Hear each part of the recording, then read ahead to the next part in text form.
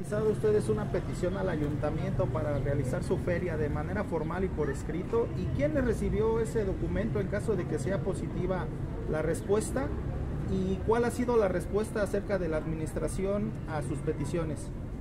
Eh, en concreto sí, sí hemos realizado la solicitud de permisos a oficialía de partes del municipio, eh, espectáculos, mmm, protección civil, seguridad pública limpia, eh, a todos se les entregó una copia y la carta, bueno, la solicitud fue uh, hecha para la presidenta municipal, como nos lo hizo ver el área de espectáculos.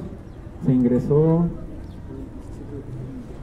19 de octubre se ingresó, a la fecha no recibimos respuesta, eh, ni por escrito, ni por llamada, ni por correo. Entonces, nosotros hicimos todo lo que estaba en nuestras manos para hacer las cosas por la vía legal, ¿no? Como debería de ser. ¿no? Gracias. ¿Ustedes qué mensaje podrían enviarle a la gente? ¿Qué le podrían decir a la gente para que lo siga apoyando y que realmente estos usos y costumbres que ustedes han impulsado y que ahora otras personas se quieren venir a colgar de ellos, qué mensaje les daría para de alguna manera poder llevar a cabo esta fiesta en paz y que puedan ustedes seguir defendiendo sus tradiciones? En concreto, la primera pregunta, diálogo con el gobierno, ya no, eh, de plano no. Eh, mensaje para las personas en general, el pueblo, en, particular sería para el pueblo de Suchiaca y también como otros eh, pueblos, comunidad en general de Chimalhuacán, asociaciones civiles que se nos han agregado. Agradecemos muchísimo su apoyo.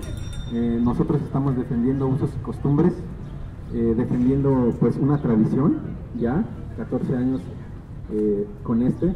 Entonces, mensaje para ellos sería que nos respete al gobierno, que sea respetuoso. Nosotros siempre hemos sido respetuosos, hemos tratado de hacer las cosas por la vía legal, como, si, como se debe de ser. Nosotros no somos un grupo de choque, nosotros somos emprendedores, trabajadores, comerciantes en general del rubro de la aceituna y lo único que buscamos es trabajar.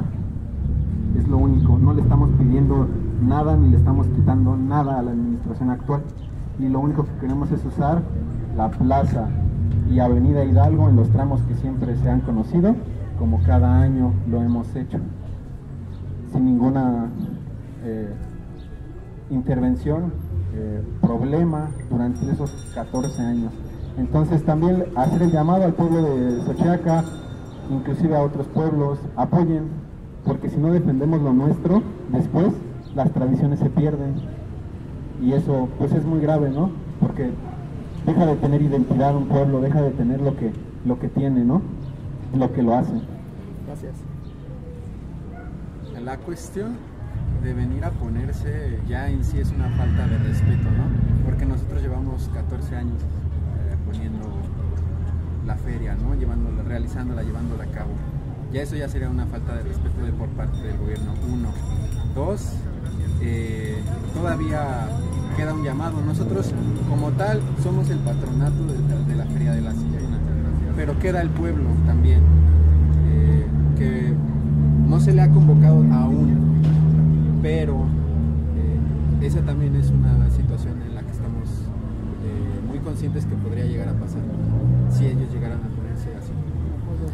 El mismo pueblo responda por su cultura y su tradición de aquí de hemos tratado de evitar, pero como ayuntamiento está llegando a imponer algo que no debe de, no se está conduciendo con el debido respeto que se merece la ciudadanía, tanto la ciudadanía y el patronato de la feria. Que todos merecemos respeto, y más a nuestra fuente de trabajo.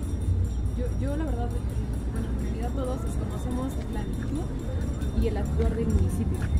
No logramos entender el por qué eh, actuar de esa manera.